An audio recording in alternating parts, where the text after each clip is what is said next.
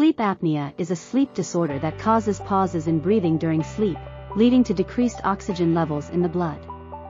Obstructive sleep apnea is the most common type, where the airway becomes partially or completely blocked during sleep.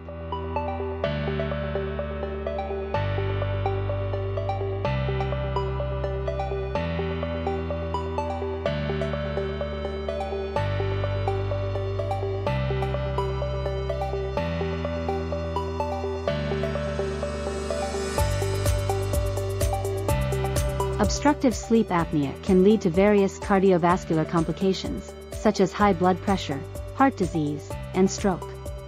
To prevent sleep apnea and its cardiovascular complications, maintaining a healthy lifestyle is crucial.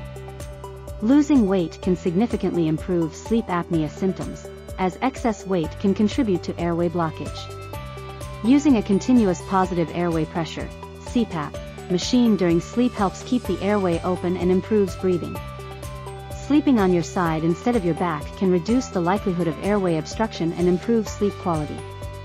Regular checkups with a healthcare professional can help monitor sleep apnea and cardiovascular health.